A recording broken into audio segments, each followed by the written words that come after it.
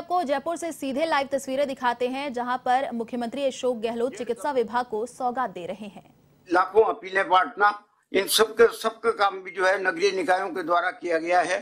और इसमें street vendors के बाबत मैं निवेदन करना चाहता हूँ कि सात, तिहत्तर हज़ार एक सौ इकतालीस स्ट्रीट वेंडर श्रमिकों को और उनके परिवारों को प्रथम चरण में जो मुख्यमंत्री जी के आदेश आदेश आदेशानुसार जो तीन हज़ार पाँच सौ रुपए और दूसरे चरण में एक हज़ार एक हज़ार रुपया उनको जो है प्रति सहायता भी बांटी गई थी।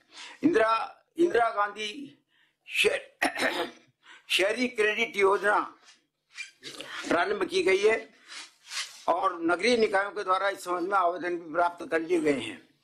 केंद्र सरकार के द्वारा, केंद्र सरकार के द्वारा इस दौरान बीजेपी का जहाँ जहाँ जिन जिन प्रदेशों में शासन था उन प्रदेशों के साथ तो बीजेपी केंद्रीय सरकार ने भरपूर उनको ऑक्सीजन भी दी और दवाइयाँ भी पूरी समय पर दी।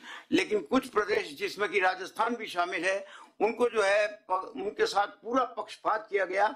ऑक्सीजन की जितनी डिमांड सरकार के द्वारा प्रदेश सरकार के द्वारा जो है मांग मा, रखी गई थी केंद्र सरकार के सामने उस पर कोई ध्यान नहीं दिया गया।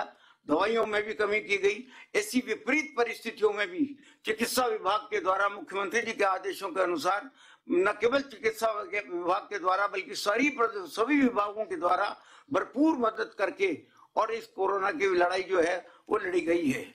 मुख्यमंत्री जी के महोदय के नेतृत्व में हर नागरिक को चिरंजीवी स्वास्थ्य योजना प्रारंभ की गई है। और मैं उसके लिए धन्यवाद देना चाहता हूँ। स्वास्थ्य मंत्री रघु रघु जी शर्मा साहब को कि उनके नेतृत्व में भी विभाग ने सभी नागरिकों को समान रूप से लाभ पहुँचाने के लिए प्रयत्न किए गए हैं। और जिस प्रकार से राजस्थान आज ऑक्सीजन की प्रति ऑक्सीजन के मामले में आत्मनिर्भर हो, होने जा रहा है ये निश्चित तौर पर जो है दूसरे प्रदेशों से प्रदेश, प्रदेशों से अगर हम तुलना करें तो राजस्थान का स्थान बहुत ऊँचा चले जाता है। माननीय मुख्यमंत्री जी के नेतृत्व में हम आशा करते हैं कि अगर तीसरी लहर भी आई तो हम उसका मुकाबला आसानी से कर पाएँगे। मैं इतना ही निवेदन करता हुआ बहुत बहुत धन्यवाद देता हूँ रघु जी शर्मा को और उनकी पूरी टीम को कि उन्होंने मुख्यमंत्री जी के आदेशों के अनुसार इस काम को कर- संपन्न करने के लिए हर संभव प्रयत्न किए। जय हिंद, धन्यवाद। धन्यवाद, मंत्री महोदय।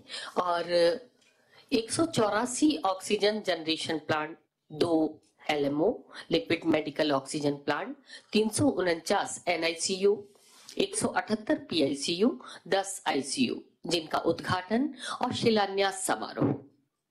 कुल अनुमानित लागत लगभग तेईस लाख एक सौ छियासठ दशमलव, तेईस हज़ार एक सौ छियासठ दशमलव अट्ठावन लाख रुपए होगी। माननीय मंत्री, चिकित्सा और स्वास्थ्य, चिकित्सा शिक्षा, चिकित्सा और स्वास्थ्य सेवाएँ, आयुर्वेद और भारतीय चिकित्सा, राजस्थान सरकार। डॉक्टर रघु शर्मा जी से आग्रह, अपना उद्बोधन हमें प्रदान करें, माननीय मंत्री महोदय।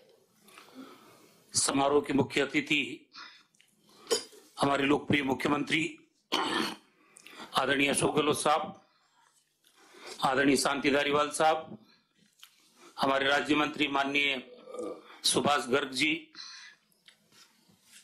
माननीय संगीता बेनीवाल जी, हमारे इस पीसी से जुड़े हुए मंत्रिमंडल के तमाम सम्मानित साथीगण, सांसदगण, विधायकगण,